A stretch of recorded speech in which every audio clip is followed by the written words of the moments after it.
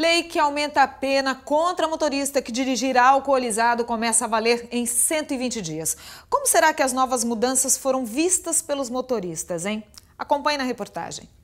O texto altera o Código de Trânsito Brasileiro e, a partir de agora, o infrator condenado vai ficar de 5 a 8 anos na prisão, além de ter o direito de se obter a permissão ou a habilitação para dirigir veículos suspensa ou proibida.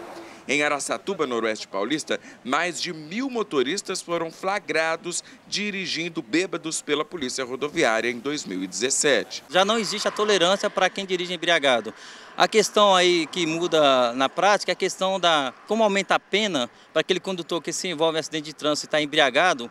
Com o aumento dessa pena, no caso do delegado da Polícia Civil fazer o flagrante naquele condutor que causou o acidente com morte, por exemplo, ele não vai ser afiançado. Antes, o tempo de detenção para quem dirigisse alcoolizado era de 2 a 4 anos. A nova legislação também fixa que, se o motorista flagrado bêbado causar lesão corporal de natureza grave ou gravíssima, o condutor terá como pena a reclusão de 2 a 5 anos, além de outras possíveis sanções.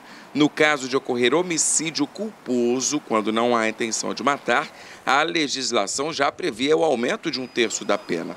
Nas ruas, as novas regras foram bem recebidas pelos motoristas. Tem que ser assim mesmo, porque é perigoso, né? Até para os outros motoristas. Evita acidente e tem muitos inocentes também que às vezes está com a família numa rodovia que não ingere álcool, que sabe, tem consciência de não dirigir depois de ingerir álcool e vem uma pessoa que ingeriu e acaba provocando um acidente. Eu acho que tem que endurecer mesmo.